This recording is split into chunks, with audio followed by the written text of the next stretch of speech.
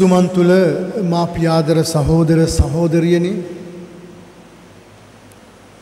ක්‍රිස්තුස් වහන්සේගේ දේව වචනයටත් උන්වහන්සේගේ ස්වාර්ගීය භෝජනයටත් ඔබ සියලු දෙනාම යල්තාරය වටා එක්වෙමෙන් මිට අවුරුදු ගණනාවකට පමණ පෙර සිදුවුණුවේ මහා අතිශයින්ම ප්‍රාර්තිහාරාත්මක සිදුවීමක් බඳු ජේසුගේ කුරුසේ යාගය අදත් අපි ජීවමානව සිදු කරනවා. ඒ නිසා ඔබගේ මේ සහභාගිත්වය හා අපගේ මේ යාගේ පිදීම ඉතාමත් ජීවමානයි. ඒ වගේම පළවෙනි කියවීම් දෙවෙනි කියවීම් වලට සවන් දෙද්දී අපි පුරාණ ගිවිසුමේ තිබෙන විවිධ දිවැසිවරුන්ගේ දේශනා එක්ක වර්තමානයේ මගේ ජීවිතය ඉතාමත් ගැඹුරෙන් සම්බන්ධ කර ගැනීමත් අතිශයින්ම ප්‍රශංසනීයයි මන්ද අපි ඉතිහාසයකට අයිතික අවාසිකම් කියන ගැලවීමේ ඉතිහාසය තුළ අපිත් නෑකම් කියන සෙනගක් බවට පත්වී තිබෙනවා. අද දෙවෙනි කියවීම ඉතාමත් පැහැදිලිවම කියනවා ක්‍රිස්සුස් වහන්සේගේ කුරුසය කරන කොටගෙන විජාතිකයෙන් හා ජොදීන් අතර තිබුණා වූ ඒ බද්ධ වෛරය නැමති තිරය ඉරායනවා. කිසිම දාක එකතු වෙන්නට බැරියයි සිතු ඔවුන්ට ක්‍රිස්තුස් වහන්සේගේ මේ මහා යාගය තුළ ඔවුන් ඒක රාසි වෙන්නට පටන් ගත්තා. ළඟ ඉන්න අයටත් ඈත ඉන්න අයටත් සාමයේ පැතීමේ පණිවිඩය ක්‍රිස්තුස් වහන්සේගේ කුරුසයාගේ මගින් සිද්ධ වුණා. ඒ නිසා මෙතන අද උදෑසන ඇවිත් යාගයට සහභාගි වෙන අපි දුර ඈත ඉන්න අපේ සහෝදර සහෝදරයන්ගේ අවශ්‍යතාවයන් වෙනුවෙන් ඔහුගේ ලෙඩදුක් ජීවන කරදර ප්‍රශ්න ගැටලු දෙසා අපගේ හදවත ඔහුන් හා සමග යාගි කරගන්නට පුළුවන්. එවගේම සමස්ත රට ගැන අවදියෙන් යාඥා කළ යුතුයි. ඇමරිකාව දැන් කෑගහමන් වැලපෙමින් ඉන්නවා. යළි අපිට ක්‍රිස්තුස් වහන්සේ වුවමනා වෙනවා.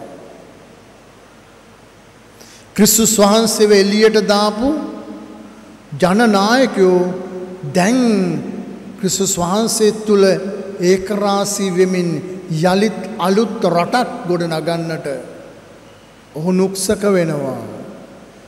ධනය තියෙනවා බලය තියෙනවා පහසුකම් තියෙනවා එහෙත් එඔක්කොන්ගෙන්ම අත්තට පයට සිතට ගතට සහනය තියෙනවා. එහෙත් ඔහුන්ගේ මේ හදවත ලොකු කුහරයක් මොනවදෝ දෙයක් අඩුයැයි ඔවුන්ට දැන් හැඩෙනවා. ආදරය නැහැ. පිළිගැනීම නැහැ. සතුට නැහැ. බලපුවම හැම තැනම ඒවා තියෙනවා. නමුත් මේක මට අදාළ පරිදි ලැබෙන්නේ මා තුළ ක්‍රිස්තුස් වහන්සේ නැතිවෙන්නේ යම් දවසකදී එදාට මට ලෝකයා බොහෝ දේ සපයාවී මගේ රස්සාව තියේවි මගේ පවුල් ජීවිතය තියේවි මගේ දරුවෝ සාර්ථක වෙලා ඉඳීවි මහපොළොව සස්්‍රීක වේවි ව්‍යාපාර සර්ස්්‍රීක වේවි හැබැයි ඒ ඔක්කොම මගේ බාහුවේ බලෙන් හා ඔළුවේ හයියෙන් කරන්න. ඒ කිසි දේකටවත් ස්වාමින් වහන්සේගේ ආත්මයානන්ගේ තැවරීම නැත්නම් අපි හුදෙක් වෙහෙසෙන මුරකරුස් නිදිමරණ මුරකරුසා වෙහෙසෙන කම්කරුව බවට පත්වෙනවා විතරයි. අවසානය අපේ රටට ඉතුරු වී ඇත්තේ එවැනි හිල්ලීමක් පමණයි. අර ස්වාමින් වහන්සේක කියවීමක දිවැසිවරයකු කියවීමක තියෙනවා වගේ අපි අවුරුදු හැත්ත පහක් විලි රුදාවෙන් කෙඳිරිගාපු ජාතියක්. දරුවකු බිහි කරන්නට අම්මෙක් විලි රිදාවෙන් කෑගාන කෑගැහිල්ලෙන් අපි කෑගෑව්වා. අපේ සඳහා අවේස් වුණා අවසානයේදී කිසිම දරුවෙක්ව බිහි නොකරපු ජාතියක් බවට පත් වෙලා. අපි යාඥා කරමු ඒ නිසා. අද ස්වාමින් වහන්සේ තමන්ගේ ජනතාව දිහා බලලා කියනවා යහපත් එඬේරෙක් නැති බැටළු රැලක් වගේ සීසීකඩ වෙලා බැටළු එඬේරුන් මේ බවට පත්වෙච්ච අය තම සුඛ විවරණය සඳහා තමන්ගේ ලාභ ප්‍රයෝජන සඳහා තම බැටළුවන්ව පවා පාවිච්චි කළා. ඔහුන්ව නොමග ඇරියා. ඔහුම ඝන වනාන්තරවල අතරමං කරලාවා. මහා කඳු මතින් ගලා හැලෙන ජල දහරා මැද ඔහුන්ව තිබ්බා. උංග ගහගෙන ගියා. මගේ රට එතනයි තියෙන්නේ. මගේ පවුල එතන තියෙන්නේ. මගේ මාතෘත්වය නැමති එඬේරිකත්වය එතන තියෙන්නේ. මගේ පීතෘත්වය නැමති එඬේරිකත්වය එතන තියෙන්නේ. ඒකට දැන් අපි පුරුදු වෙමින් පවතිනවා. හදවතේ තෙතමනය නැති ඕනම කෙනෙක් ජීවිත උදුරා ගැනීම විතරයි කරන්නේ. තම මඩිය තර කර ගැනීම විතරයි කරන්නේ. ඒ නිසා අද දවසේදී ස්වාමින් වහන්සේගේ ගෝලයන්ව තනින් තන අරිනවා. උන්වහන්සේ බල සම්පන්නව යකුන්දුරු කරන්නට දේශනා කරන්නට රෝගීන් සුවපත් කරන්නට. ඔවුන් මේ සියල්ල කරලා ඇවිල්ලා මේ සියල්ල ස්වාමින් වහන්සේට වාර්තා කරනවා. කයිවාරු පිට කයිවාරු යනවා අපි ඔබේ නාමයෙන් යකුන්දුරු කළා ඔබේ නාමයෙන් රෝගීන් සුව කළා අපි දේශනා කරපුවම මිනිස්සු අපි වෙතට ආවා. ස්වාමින් වහන්සේට තේරෙනවා මේක ආත්මයානන්ගේ කාරණයකට වඩා දැන් ඒක තමන්ගේ හපංකමක් යයි හිතග හිතාගෙන ඉන්නවා. අපිටත් මෙහෙම පරීක්ෂා එන්නට පුළුවන්. ස්වාමින් වහන්සේ තුළ ආරම්භ කරන අපගේ විවාහ ජීවිතය බැහැපත්කමින් දයාවන්තකමින් සමාව දෙමින් පැමිණි අපේ ජීවිතවලට කාලයක් ගියාම ස්වාමින් වහන්සේ මාළඟ නෑ මගේ බුද්ධිය මගේ සංවිධානය මගේ පිරිස් බලය මගේ කම්පැනිස් මගේ ආයතන කියන මම කියන කෙනාව ඉස්සරහට ගන්නවා. දරුවොත් එහෙමයි. මොන්ඩි සූර්යයට බොහොම අමාරුවෙන් අල්ලගෙන ගිය අම්මව තාත්තව කාලයක් යද්දී තමන් බුද්ධිමතුන් වෙද්දී තමන්ට අලුත් අලුත් පරම්පරාවක් හම්බ වෙද්දී තමන් අලුත් ආයතනවල ලොකු පුටුවලට යද්දී අර පුංචි අම්මව තාත්තව එයාගේ නෑදෑ පරපුර මට අමතක වෙනවා. මගේ කතාව ඇසුර වෙනත්ම පාර්ශවයක් එක්ක. ඒ නිසා අර සමිඳුන් දෙන්න දේ මම මගේ කරගෙන ඒකට සාතන් රිංගලා සාතන් අපේ ජීවිත නොමගාරෙනවා. මේක දකින ස්වාමින් වහන්සේ කියනවා ඔබ හුද කලාවී නිවාඩු ගන්න. සෙනගකින් ඈත් කරලා එයාලව තියන්නට යන අපි හැමෝටම මේ නිවාඩු අවශ්‍යයි. දුවන දුවන දුවන අපේ ජීවිතයට නිවාඩුවක් නැතුව දුවන්නට බෑ. එහෙම නිවාඩුවක් නැතුව දුවන අපේ ජීවිතවල ආත්මීක තෙල් ටික හිඳිලා ආදරයේ තෙල් ටික හිඳිලා තේරුම් ගැනීමේ තෙල් ටික හිඳිලා අපේ ජීවිත කිටි කිටියේ දැන් ඔයිල් නැති වාහනයක් වගේ බොහොම අමාරුවෙන් අදින්නේ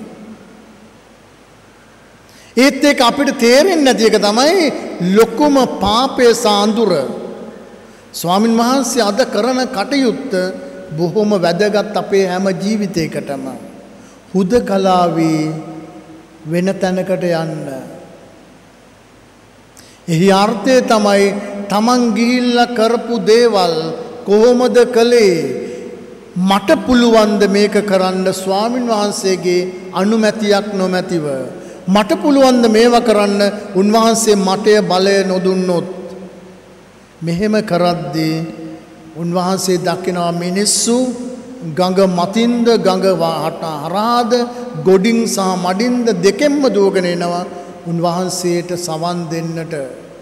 අර අර මහා ඉඩෝරයකට හැලෙන වතුර බිඳු වගේ උන්වහන්සේගේ මුවෙන් නික්මෙන ආදරණීය වදන් බලාපොරොත්තුවේ වදන් එදා ජනතාවට මාරසානයක්. අදත් අපි හොයනවා කවුරු හරි අපිට සහනයේ වචනයක් බලාපොරොත්තුවේ වචනයක් හෙට දිනේ මගේ දරුවට මේ මා පොළොවේ හිටගන්නට පුළුවන් නායකත්වයක් අපි හොයනවා. අපි අතරේ එදා පුරාණයේ ඊශ්‍රායල් අතරේ දැන් වෙනසක් නෑ. මිනිස්සු මහා දවාලේ මරා යනවා. සතියක් මතකයි දෙකක් මතකයි ඊට පස්සේ මතක නෑ. අර හිරගෙදර ඉන්න ඕන තරම් මිනිසුන්ගේ ජීවිත පුනරුත්ථාපනයක් නෑ. ඒන්ට ඒ බැටලුවෝ ටික ගාල් කරලා ඔහුන්ට තුවාල වෙනවා. උගේ හිත තුවාල වෙලා. ඔහුන්ගේ පාපය ගැන මනස්ථාපනය වෙනවා වෙනුවට තව වෛරයක් ගොඩ නැගිලා. එනිසා මෙන්න මේ සිතුවෙලින් අපි නිදහස් වෙන හුද කලාවී යාඥා යදුමට යමු. මම කවුද කියලා හොයමු.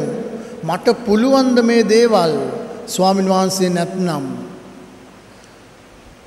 ඒ නිසා ප්‍රේමවන්ත සහෝදර සහෝදරියනි මේ ජීවන අරගලේ ඉන්න අපි පූජාව වෙනස් මගේ පවුලසා මගේ ව්‍යාපාරය වෙනස් නෑ. ඔබ එතන්නට යන්නේ මේ දවස් හත මෙතනින් ලබන ඒ මහා හයියත් එක්ක.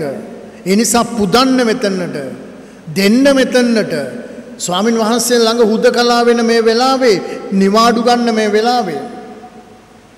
හැම දෙකින්ම මේ ඔළුවයි හදවතයි පුරෝගන වෙහෙසට පත්වෙන්නට එපා යන්න පුළුවන් දැන් යනවනං අවුරු තිස්පහක් යයි හයියෙන් ඊට පස්සෙ මේ ඇඟ අසනීපයි සීනිවලින් අඩ පනවෙච්ච ගැස්රයිටිස් වලින් අඩ පනවෙච්ච පිළිකා ශෛල කොහෙන් හරි වර්ධනය වෙන හෘද ආබාධ කොතනකින් හරි නික්මෙන ජීවිතයක් අපිට උරුම කල්ලා තියලා තියෙන්නේ.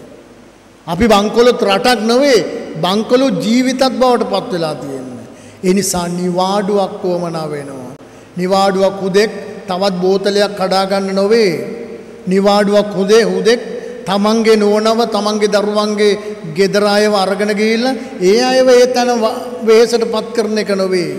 නැත්තම් අපේ අම්මලා ටික නිවාඩු කියලා ගිහිල්ලා ආයෙත් අර සෙක්කුවේ බැඳපු හරක් වගේ එකම තැන කැරකෙනවා.